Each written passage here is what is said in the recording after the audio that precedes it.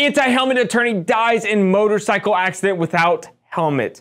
So this guy basically lobbied to make sure a law requiring helmets did not get passed because it restricted his personal freedom. I'm not even gonna go into the personal freedom thing, but y'all, please do not ride motorcycles. They are death traps. And if you're gonna ride a motorcycle, wear a helmet. Put me out of business. Put me out of business. I don't want all these motorcycle injury cases I'm doing. Please.